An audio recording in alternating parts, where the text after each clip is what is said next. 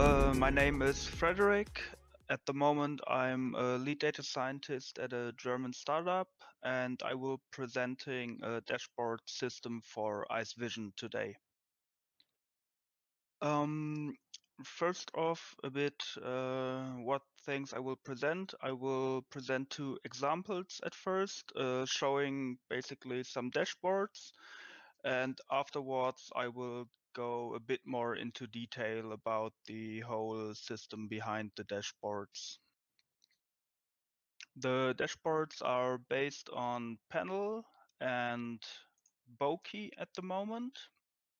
Um, the first example will be just looking at some data, uh, specifically here the fridge dataset. We just load the data as normal. And then we create a box record dataset. Um, the every class of data has basically a separate dataset class, which is required from the dashboards to consume them. So the dashboard can be generated for nearly all object detection mm, dashboards. You just use the bbox record dataset, which takes a list of records and a class map. From that, we can feed it into the object detection dataset overview, where we supply the dataset we created above. And we can also supply height, width to size the dashboard. Every dashboard has a show function which displays the dashboard. For example, here we have four tabs. The first gives us some general information about the dataset, like the number of images, number of classes, the classes and their names, the minimum area, maximum area, and so on. Then we get also some class stats. So how many images per class, average number of, of objects per image, and fraction of labels as well as a short bar plot to visualize the fraction of data.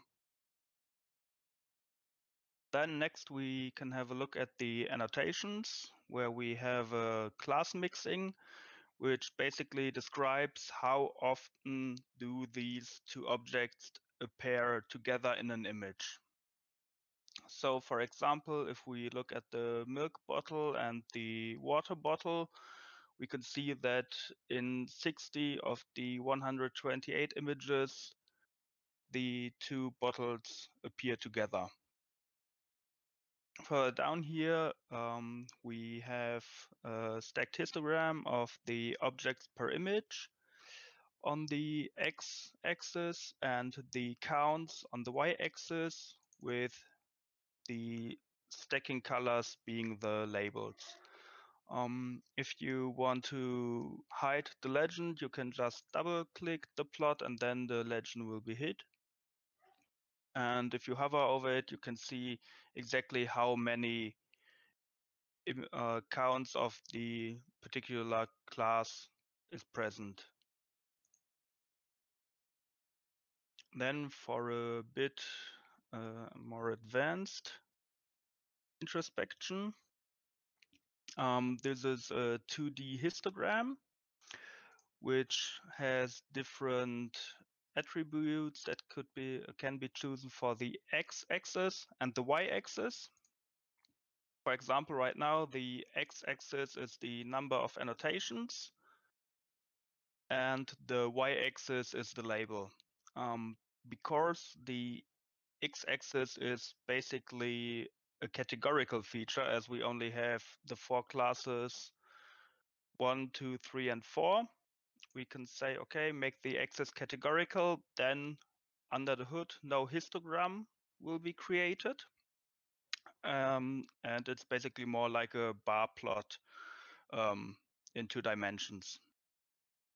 So as we can see here, we have about 32 images with a water bottle and four annotations. And this basically goes down here. If we want to look at, let's say, the normalized area, of course, you can categorize that, but you can't gather much information from this. Um, so you now we can see how the area is basically distributed among the classes. And if we want to compare rows, we can normalize the rows, which will basically give us the comparability between them and present every uh, or will normalize all the values so that one row sums up to one. And if we need more bins, we can always go for just more bins with the bins option. And if we want to limit the range, we can just use the slider to adjust the range accordingly. So just to see if I understood correctly here, if you go back to, can you go back to 10 bins? Just so it's a little bit easier to yes. see. And then so what this is saying is that, for example, for Ken, uh, almost all objects are of the area 0 0.04 normalized. Half of the objects uh, are on Ken. on Ken? Yes. Yeah. Uh, so you can see that basically cans are quite smaller than the other objects, where cartons seems to be the biggest. I see. And if you check X is categorical, what, what happens again? Um, this will take every unique value and basically give uh, or take the histogram, but just take each individual value and we'll then show them. As you can see here, there are many values. Here they are all zero, but the can provides some small values here. Ah, okay. Which leads to a stringing of the data. But if you have a categorical feature on the x-axis, like the number of annotations uh, it makes sense to only set it to or to set it to categorical. This is easier than have to know exactly how many there are and then also the because we are using uh, uh, or under the hood a real histogram is calculated um, the numbers aren't correct up here. Okay i see. Makes sense now the categorical. Nice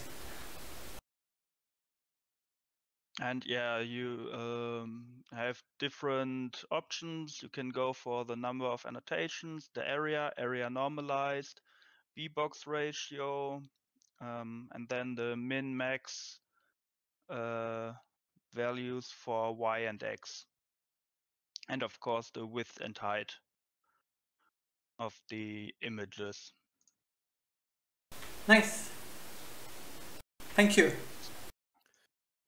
I was wondering if the uh, if we use like the square root of the uh, area, so that would be like the the the width, a normalized width. Uh, yes. If it would be like uh, helpful to have th that um, measure in a sense that it gives you right away an idea. Okay, the box seems to be like uh, uh, 40 by 40 or or 120 by 120 something like that instead of the or on top of the area let's say. Um what yes um i am not quite sure why um there might be an or i also have the um bbox x length and y length so I could okay. just put that in there as well. If okay. that the, makes sense. The downside of that is that you don't have like uh, you can have a small uh, x, like small, uh, um, let's say height, but uh, a large uh, width. But if you take the normalized uh, like uh, width, which is uh, the square root of the uh, of the box, it gives you a rough idea of how big is that box. Uh, But sure, this isn't uh, much work. This is not very complex, as I can show Mhm. you later to Okay, integrate perfect. that. But I Great. noted it so I can add it. Great. Thanks. Hey, hey, actually, I have another question on the objects per image. I'm not sure I understand what this is showing. Like the Um, not you mean this one? uh, no, like the the the chart on the uh, but yeah, that one. Yeah, yeah. Ah, okay. Um, so this uh, shows on the x-axis the objects per image. So there are either one, two, three, or four images on the object, and the basically the question behind the plot is how are the classes distributed over these values? So in So if, the okay, if you hover, if you hover like on the, uh, yeah, for instance, like water bottle, water bottle there is okay, milk bottle, milk bottle there is 19. So it Right. means that um, there are 19 images in which milk bottle appears. Uh, no, in which there are two objects, one of which is milk bottle. right. Okay. Okay. Got it. Yeah, I was uh, I was uh, trying to wrap my wrap my head around this. Okay, great, thank you. Any further questions about this panel? Uh, I want to make sure, actually, that's always me. I want to make sure I understand the, the, the, the third one you were showing. Uh, so in this case, for instance, once again, like, yeah, that's the, you were hovering the, okay, for example, yeah, 30 there. So it means that um, uh, for milk bottle, there are 30 images uh, in which uh, it, ap- no, wait, there are 30 images and with three objects, one of which is milk bottle. Right. So it's Okay. basically the same as this plot. As you can Okay. see here. Just an additional Um, dimension. Yes, this is just, I think it's a bit easier to consume by the eye and you have to think less if you look at this. Got it. Thank you. So next up is the gallery. Um, the gallery has sorting options. Uh, for example, let's go by a number of annotations, drop duplicates. Um, this supplies all the annotations. So basically, if we go here, this is sorted based on the annotations. So this image basically has four annotations, so it would give four data points. And if you enable drop duplicates, basically every image is only counted once and the first value that comes up is taken or the first here the first uh, let's let me switch to make it a bit clearer let's say we sort by area this means we sort by the area of the annotations. If I activate drop duplicates, I basically look, okay, which one is the one with the biggest area or with the smallest area? This is the first image. If I now have another annotation on that image with, let's say, the biggest height, um, it wouldn't come up later because I drop all the duplicates. So each image is only shown once. If you deactivate drop duplicates, each image can appear more than once in the gallery. And of course, you can set the sorting to descending if you want, or you can just go backwards. So for example, here we order uh, we sorted the images by the area, where the first one is the smallest. Uh, it should be the scan here, and the last one is the one with the biggest area. If we change this up and go to the next image, okay, that's interesting. Oh, because of duplicates, probably. Um, this changed. Okay, this is strange. But it should sort the data. Is it sorted uh, by uh, its a descent or ascend? Um, by default, it's ascending, and if you click the descending button, it will be descending. And and what do you mean by sorting by area? Like which what area exactly? Uh, the area of the annotation. Like this the sum like let, let's say that there are four objects. Like are you gonna to sum up like the area of the four? Uh, no, it's just the annotation. Uh, let's go back here. Um, basically, it would uh, it takes the one with the smallest area. This would be this one, and then on the next image, it would be this annotation would rank the image as one with the smallest area. Um,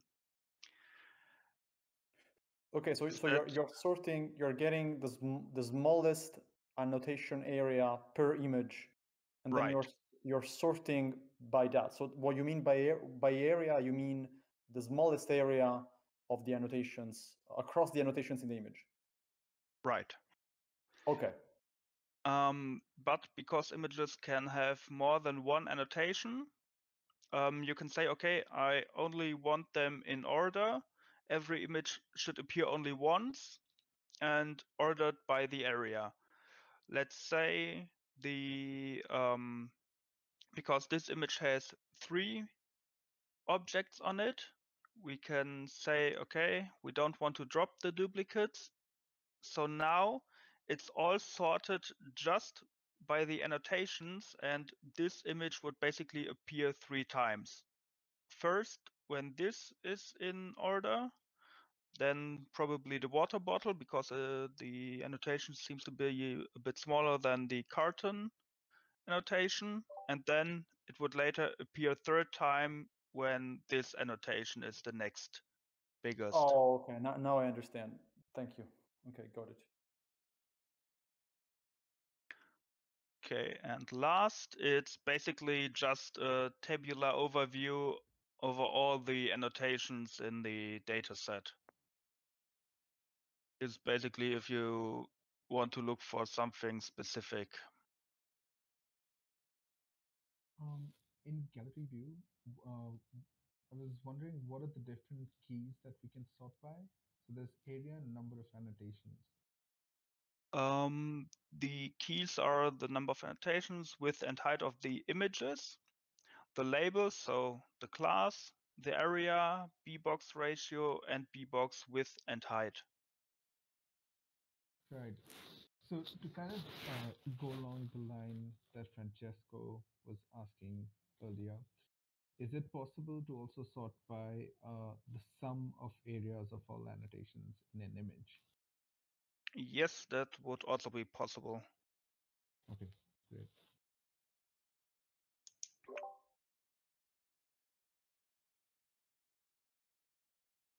Okay, further questions?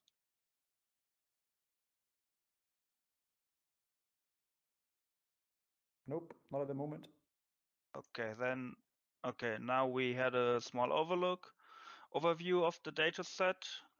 Um, then for dataset comparison, um, here we just split the dataset, create two datasets, and then we can put them in the object detection dataset comparison. This is basically the overview just run twice where you have the data put next to each other. So as we can see, for example, here the fractions are basically the same, it's just smaller. And we have all the others. There's some uh, additional GUIs now because uh, if you want to see relative how the distribution is, you basically look at the color map and can identify each panel with a panel on the other side.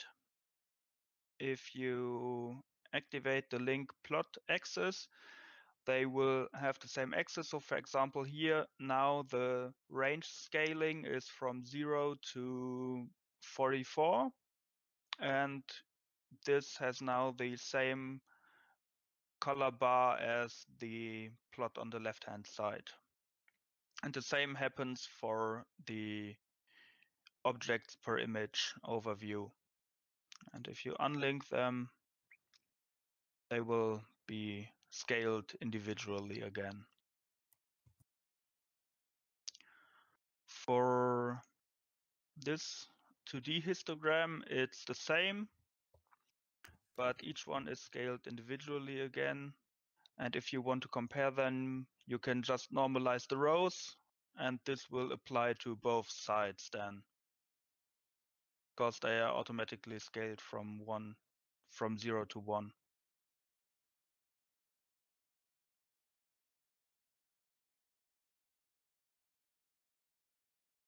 And for the gallery, you can now sort them individually. You basically get everything twice for the comparison at the moment. Oh yeah, one uh, important addition up here. Um, automatically uh, search for duplicates is done to identify if there's any overlap in the data set. So you know uh, beforehand if there if you had a leak in your data processing. Any further questions? That's actually a very cool uh, feature there. That gives you already the duplicate uh, images. You can detect them beforehand.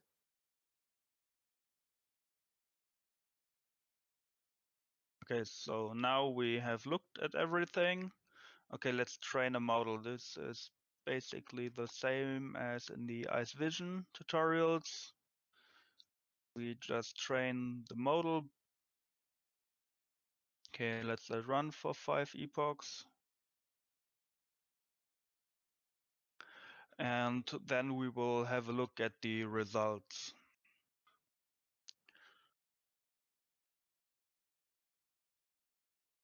Um, here we have again the same structure.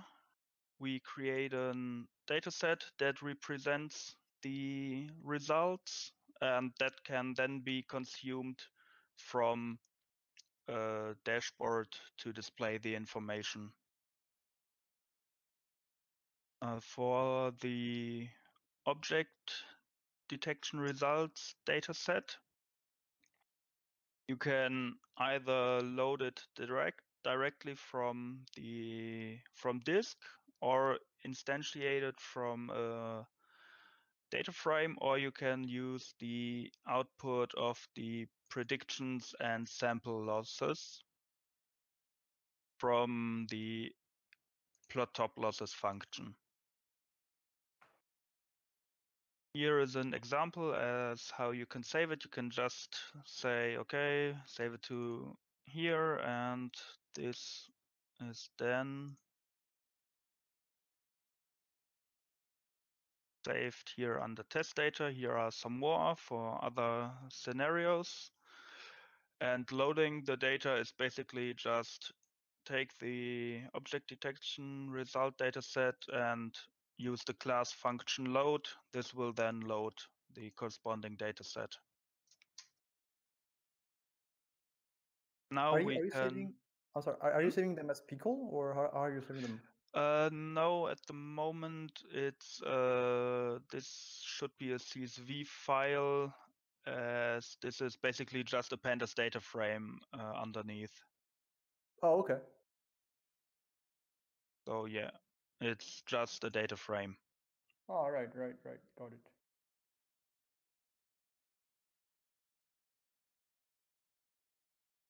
Okay, so let's. Whoa. Okay. class map. Thought I run this five minutes ago.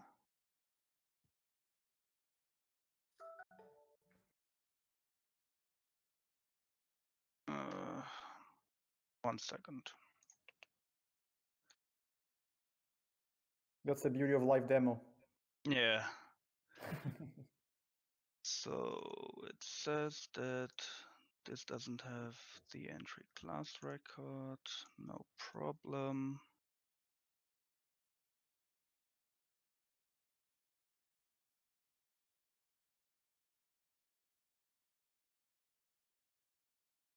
Trigger. Maybe you can output the class map and see if it's populated or not.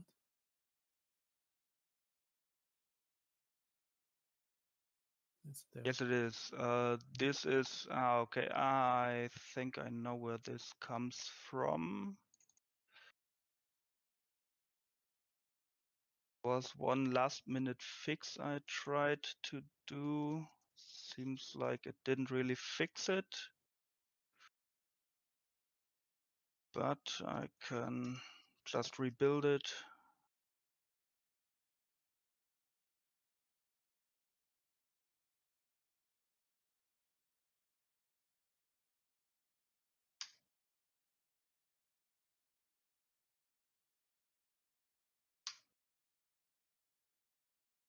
Okay, then let's try again.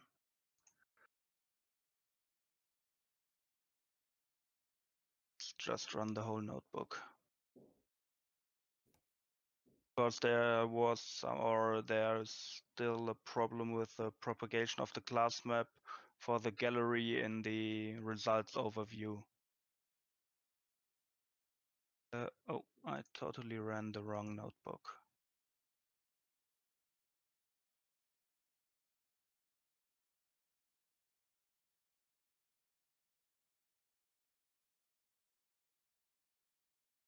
Okay, so we are training again. Um, there's one thing at the moment um, because Bokeh is the plotting backend at the moment. There is some performance issue, uh, as I will show you in a minute, where the most of the time for displaying a dashboard is consumed by the rendering of Bokeh, which is about 86%. Um, okay. Thought I just, oh. Okay, again, my mistake. It's in the results. I display two um, galleries where one represents the uh, truth, the ground truth, and the other represents the prediction that it was made. And I forgot to clean up the second one.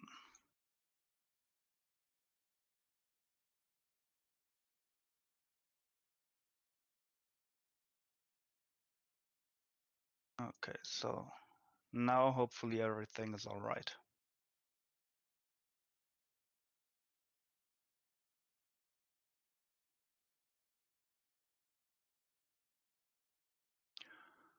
Um, maybe while this is running, I can show you a bit how everything works underneath with the data sets. Um, does anyone know what a descriptor is in Python? I don't. Okay, um, you uh, are properties known for classes where you can use the add property decorator. hmm Okay, um, so basically they are pretty or they are somewhat the same or a property is a descriptor, but it's a different implementation. And a dataset descriptor is basically a class attribute that handles specific specifically over the one set name, the get and the set method, which need to be implemented and then they have a specific behavior. For example, this is a string descriptor where if the name is set, uh, the private name, or let's start here. Name is set as a string descriptor. Now, when the class is instantiated, this attribute will be filled with the string descriptor. Now, whenever the class or a class instance dot name is accessed, not the name itself is accessed, but the get method is called from the string descriptor. And if one wants to set it, the set function is called. Um, this has some handy features. For example, if we want to have data sets and we want to leave the freedom to the developer of how certain things are represented. Then we can use a descriptor where in this case, all the developer needs to do is to define the calculate description function. And everything else is already handled here. So if we, let's say, want to represent the stats of a data set. Let's see if everything, okay, this already works. So uh, let's say we want the dataset stats. Basically, this is just a descriptor in the case here, where it uh, returns a pandas data frame containing the different information. This makes it easy for writing dashboards or adding dashboards, manipulating them because often you just have to define a new descriptor and replace the old one and the logic behind stays the same.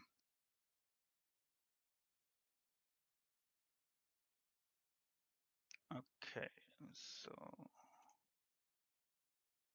uh, I have to clear the output because else otherwise the rendering would take much longer because if I show or basically this plot is the same elements as shown below which would trigger an update for both if I change one of them. Okay, so for the results dashboards, first each loss with a histogram so you can have a look at them individually. Then you can have a look at, uh, I will zoom out one more step.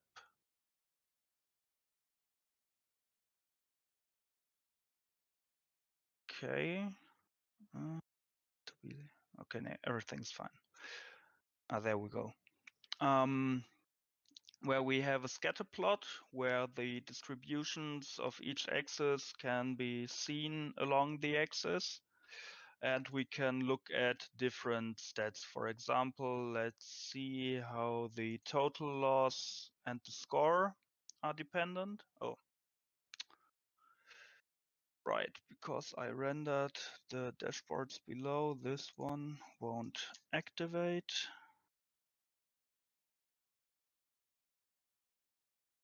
Um, yeah, that's the problem because Bokeh needs to build everything and needs to run the solver for the layout. This always takes a bit of time.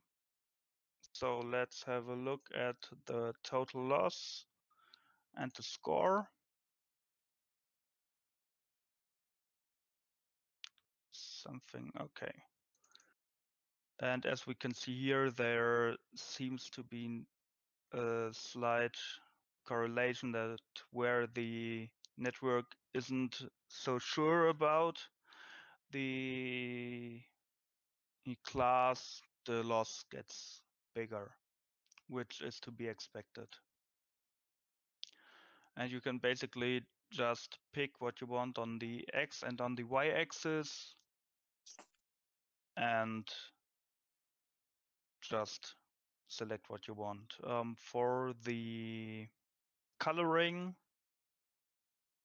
you have the label, the number of annotations, and the file name. Um, be careful with the file name. If you have a lot of files, basically every image uh, will get its own point in the legend, which can be quite um, uh, quite a lot. So if we, for example, look here at the area and the total loss, there doesn't seem to be a very or a direct correlation or anything we can directly see.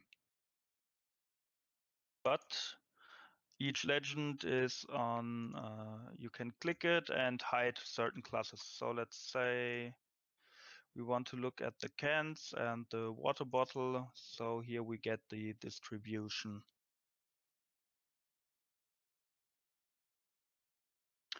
Then on the right hand side, we again have the same plotting structure as seen above. We can again now use the different losses and so on versus label, number of annotations, and file name.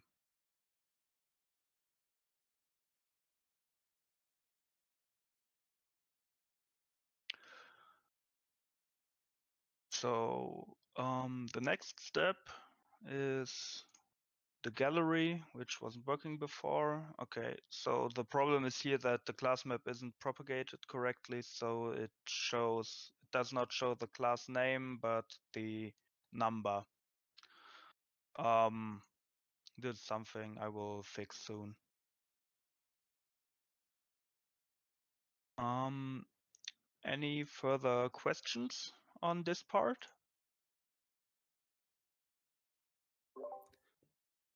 Can Uh, you nope. please?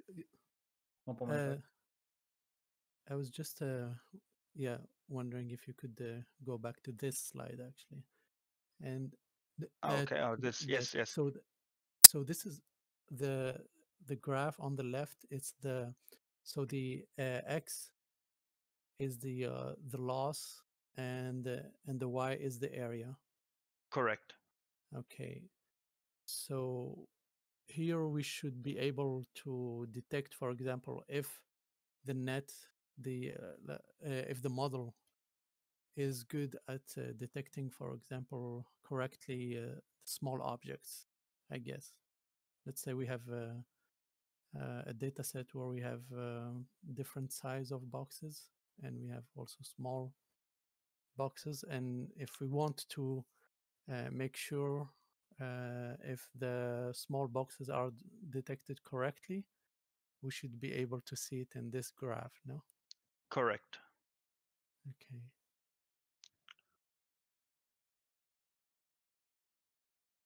As or for example, if you here you can gauge how the uh, number of annotations plays in. Okay, one annotation here, but as we can see from this, if we take everything away except the for, see that Mhm. most of the images with a higher loss seem to have four objects on it. Which might be because if we take a look here and sort, uh, okay, this is only sorted by the loss.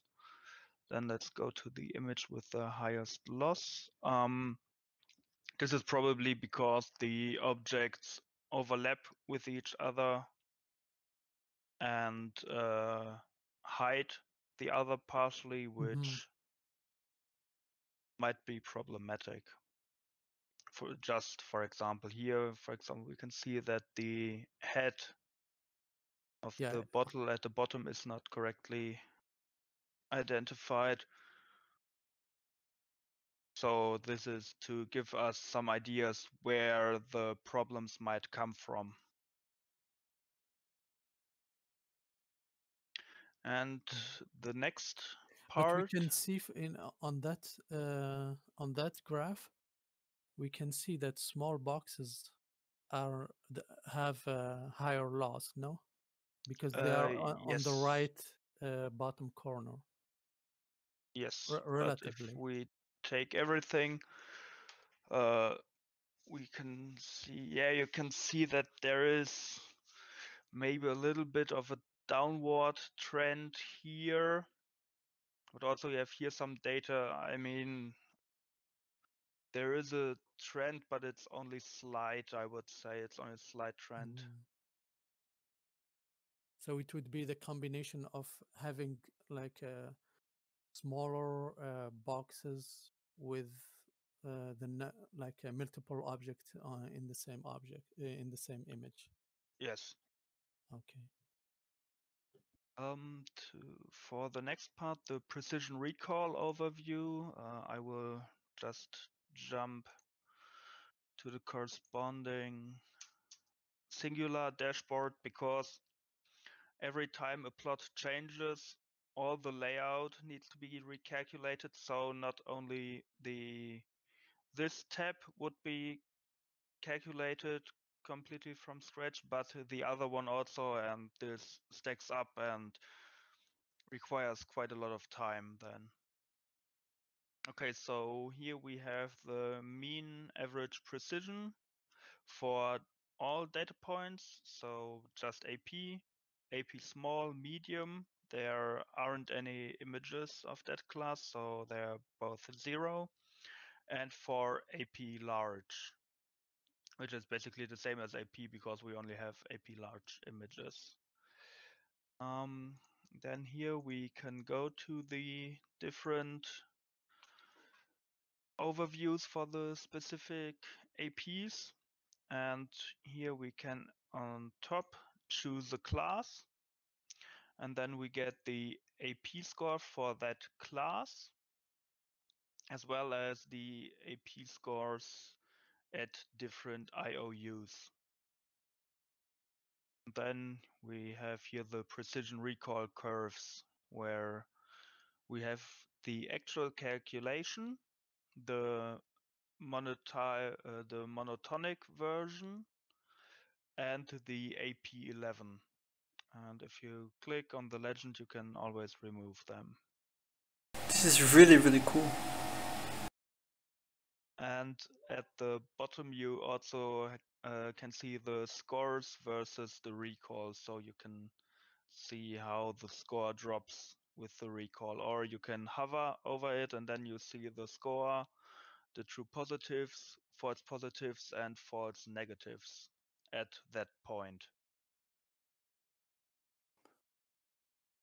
Just out of curiosity, like how are you calculating those those charts? Like is this coming from some uh, show summary equals to no no what was that like Coco metric show summary equals something like Uh. I implemented it myself. Um, I can show, or the code lives under in the metrics um, uh, notebook. Here you will find two implementations. One is the AP, uh, which is an abstract base class, which basically defines the structure on how to calculate everything and requires three, uh, two functions. One preparing the data. Uh, here you can look at how the data has to look. And an abstract method for filtering the data. So how you filter the data for the different APs. Um, basically what this does is it loops over the, or first off here, the image stats. Um, first, we filter the data oh no, this is image stats. This is not get metric data. Uh, here, get metric data. Basically, what happens is we filter for the different APs, prepare the data, and then we loop over each class and get the corresponding data. Um, if you want to, or this is already a general structure here, for example, this is specifically for the record data sets or for the result data sets. Um, and this uses Shapely to calculate the intersections but there's also a fast version for object detection where I directly calculate the intersections, which is faster than the Shapely version because everything needs to be converted into a Shapely polygon. Wow, and you implemented all of this yourself? Yes. Huh, I'm wondering if actually we can add this metric on the library itself. Maybe we can take a look at that. This is really amazing. Sure. Yeah, it's really, really amazing. Um, all right. So, and then of course, you can select whoa, uh, the different classes because this is all again Bokeh in the backend again. Uh, this takes a little bit uh, has the advantage of all the interactive stuff, but the drawbacks are the layout calculations, which can take quite some time. I didn't fully take this in con into consideration when I created uh, everything. I mean, Bokeh works great with huge amounts of data in only a few plots, but small amounts of data in a large number of plots is um, not really optimal for performance. Um, so I'm at the moment thinking of maybe changing the backend to matplotlib for some static plots and only using Bokeh for the really interactive or for the interactive plots. So this is basically how you can take a look at your data and use that information for before the training and after the training. Uh, oh, as I see, we are already quite. Okay, it's um okay. Then just one quick additional example. Um, this is basically the same here. I just load some results um, display them here. This is for the pets dataset. And if we take a look at the score here, we can see that some classes are there that the model is much more confident about them than about others. Um, in this case, it's only because the model was only trained for five epochs. Um, but let's say this is some real world data, the data is messy, you don't really know everything that is in the data, and you just run a model over it to see what sticks. Um, then you can use this overview to identify the classes and the data points that are suitable. Um, for example, um, if we take a look at the, oh, let's take here a look at the number of annotations um, versus the total loss. We can see that if we normalize the rows, um, here, for example, three annotations are uh, seem to be a bit higher, but we only have one value here. So there is something special about that, as it seems, as we then find out it's or there's only one real annotation per image or one ground truth and basically everything that shows more than one is already a problem. Um, then let's say, okay, um, we just want to try something on the data that somewhat works. So, for example, we say, okay, which score good on the classification? And we can take four like Pug, um, Shiba Inu, uh, Sphynx, and Great Pyrenean here, for example. Um, we would have to manually go through the dataset, filter it again, and so on. Or we can use the uh, data set generator um, where we again just use a list of records, create uh, the corresponding data set, and put this into the object detection dataset generator. So here again, the problem with uh, slow updates comes up, as you will see.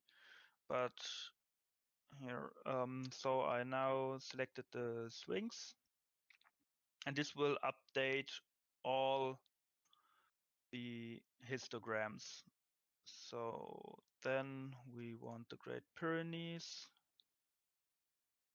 And this takes some time. Um, to cut it short, I already did this. Um, oh yeah, and you can of course um, cut on the um, histograms, for example, like this and then all the histograms will be updated accordingly.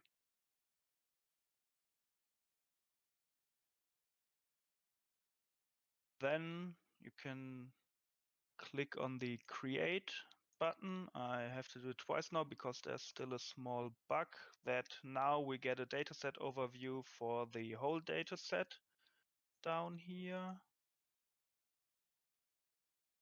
And if you click these entries here, um, the overview for the corresponding data set will be generated. Um, one problem with that is it's already, uh, again, a huge amount of plots. We have to redraw each and the solver needs to run again, which again costs us performance. Okay, so if you did that, you can add a name and a description to a data set as well as as oh no i think i i don't know. I think good. Um, and then you can just click on export and then every data set in the list here will be exported. For example here this is what i created beforehand. And we can just load that. The bbox record dataset also takes a string where the string is a path to the saved object. And here we can have a look at it. And it's basically the four classes we wanted. And we can again look at everything. Then uh, we can split the records into train and validation records and just run the model with the new data and then again have a look at the results.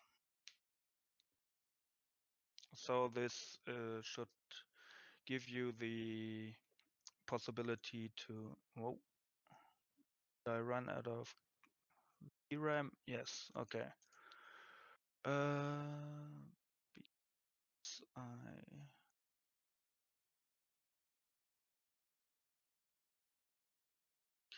Um, and then you this should help you to iterate quickly on uh,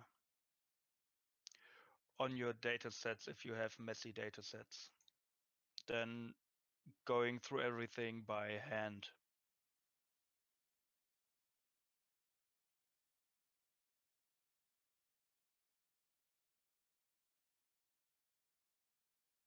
Okay, we can load it.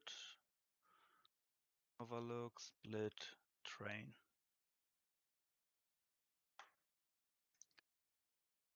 Yeah, I think this is extremely helpful, by the way, to be able to do this. It's very nice. I hope because or as often uh, or I uh, okay something is eating up the memory. Well, but then this will train on the new data set and then you can have an overview of that afterwards because often I encounter quite or um, people have really messy data. I mean, the data sets we have for research are really clean. There's a lot of work put into them, but most real world data sets are messy and yeah, it's just here is a bunch of images. We ourselves don't know what's really in there. So as now the hour is we are one hour in um i would say question and answer or do you want to see a bit more from the library internals a quick questions uh, are you using it in a real project uh, uh not at yet work or okay uh, not yet but this uh, will or uh, but i will in the future this is really impressive what you built here. Thank you. Yeah, I like it quite a lot as well. Yeah. It covers a lot actually, and it's going to be like a, a golden tool to uh, go and inspect the like the part where it doesn't the, the training uh, is not working very well and so on. So very yeah, impressive. I agree. It's really outstanding work.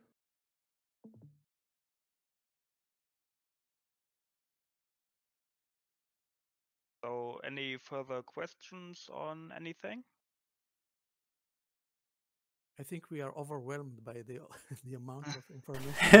yeah, it's a lot of stuff. covered so many. I mean, uh, when you see all the features that you presented here, it's really impressive. So this is not like a I don't know, a weekend project here. No, there's took quite some time to get everything done. I had to rewrite it once or twice because there was some things I didn't take into account, but now I think it should be somewhat or it should be stable a stable foundation to build upon. Mm-hmm. I was wondering if uh, the you considered uh, Plotly. W- would you think that they have the same the like limitation as uh, Bokeh or? Um, I am not sure. Um, for plotting or um, I think more of a problem is really that you um, or I think most of the limitations can be circumvented if for some for example as this plot is already incorporated here, I can replace this with just a static plot without any interactions, which would mm-hmm. reduce the amount of required render time. Yeah. Um, I am not sure if Plotly will be much faster. I think really a static PNG is the simplest solution and uh, I think for that matplotlib would be the best tool overall.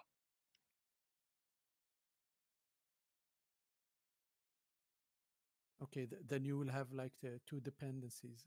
You will have mat uh, matplotlib and and Bokeh, I, I guess. Yes, um, okay. course, or the um, the panels, uh, the drop downs, and so on. Basically, the uh, interactive components are part of panel, which already relies upon Bokeh. So um, basically, Bokeh would be a dependency anyway.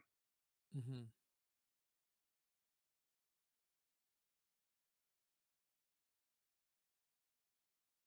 And Bokeh has some nice features. Uh, course, um, what or I in the or as far as I know, in Plotly you can't directly get the selected data back or uh, the indices of selected data. Um, this is the controls uh, part of the library where I define control structures as the um, uh, here the slide ray, uh, sliding ranges and so on. And there's also here, uh, this is a component um, for basically selecting in scatter plots. Um, and with Bokeh, I can retrieve that information and save it from the plot, which allows me to build quite complex selection systems. hmm This would be interesting, for example, if I want to um, merge the results overview with the dataset generator and let's say there is some interesting uh, spot in the scatter plot then i would be able to basically select these plots with this tool and then i can decide how they are combined. Um, and then make my selection from that to generate a new data set So ba- basically, you go from uh, like a figure or an illustration, and you make your selection, and you create a new uh, like a, a JSON file or uh, any uh, a new data set yes. that you store on the disk, and afterwards you can reload it, parse it, and yes. uh, train it again. yes Okay, um, there is here the or that's really the cool. data sets. Uh, oh no, this is data. Okay, this is the implementation basically for the object detection and so on. Um, the base level for that is the record dataset, um, as well as some specific parsers here to parse um, a data frame to a set of records. And what the record dataset is capable of is saving the data to disk, loading the back the data frame, and then using the record data frame parser to parse uh, the entries to records so you can directly retrieve the records from the data set. Or you can basically use this to save your selection and load it back up later. So when you say uh, a record data set, this is a record data set that is specific to the uh, dashboard. It's not the Yes. same, uh, you know, Yes, not the yes, same yes, as the yes, uh, Iced uh, Vision. Yes, Uh, right. Just sorry. to make sure that uh, I understand well the like the the flow of the. Okay, so basically, you can select from a figure uh, like uh, data points and you can store them in a data frame. You store them on the disk. Then you can reload them from the disk. You can parse them uh, with the class that you just uh, show uh, now, the previous yes. one. And from using that parser, you're going to uh, reconstruct uh, a record set that is specific to the dashboard? Yes. and from there you can pass it you can uh, create the IceVision record set and continue with the IceVision uh, like a pipeline to train the your uh, saved data. Is Correct. correct? Yes, that's what's basically happening in this notebook here, perfect. where we first Uh, here we take a look at the data set. Here we create the data set Mhm. and then we load it from disk here. Take another look at it. And then we just call the split in train and val function where we just pass the train split and this will return us the training records and the validation records. And then we can just continue with the regular IceVision pipeline where we just use the training records and the validation records here for the dataset creation and subsequently in the data loader creation. Okay. So at uh, the fifth cell there, cell number five, there you are like in IceVision land, and just before that you are in the dashboard land. Yes. Okay, perfect. It's phenomenal. yeah, it's really impressive. Yeah, I mean, you, you kind of built a, an an an completely new library, right, on top of on top of IceVision. Uh, I mean, not even on top of IceVision, but on in parallel, pretty much. It's um, it's really cool stuff. Mm, Thank you. I hope it's really helpful to do projects. We we need to train ourselves to be able to to use it like at uh, its full potential. I think because Mhm. there are like so many features that you g- that can be used that uh, it will take like a, a kind of a small project where you can go through all the different steps that you showed here with the real data and see how it can be used in in a real world. If you look at the repo, there is an example folder where the two examples I presented today are already included. Mhm. Um, I'm also planning, or I have a little roadmap um, of things I want to do next. For example, the speed ups, as I mentioned before, some code refactoring, um, modal comparison would uh, be nice to have. Add some more examples to show more facets of the uh, package. Then add more plots for the result dashboard, for example. A confusion matrix would be interesting, I think, and the AR statistics, so the average recall statistics, as well as integrate new tasks like classification, where you can have a object detection result overview, a classification result overview, and so on.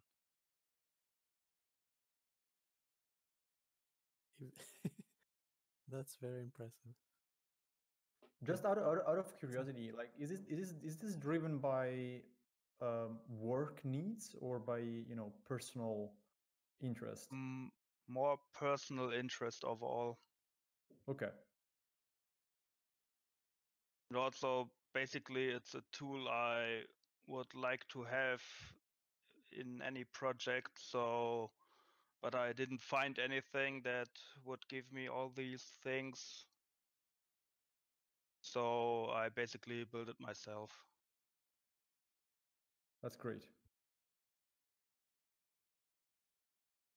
So I guess the the best thing to if we want to use it is to just uh, install from master or uh, or do you have like a, a Um, PyPI?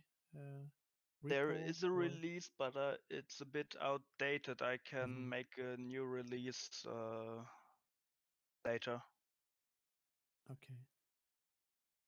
I think that would be great in a sense that, uh, especially if you are considering uh, refactoring parts, that would be good to have like a, a version that we can pin and then we can uh, try it out there while you are making the uh, the, the different uh, refactoring.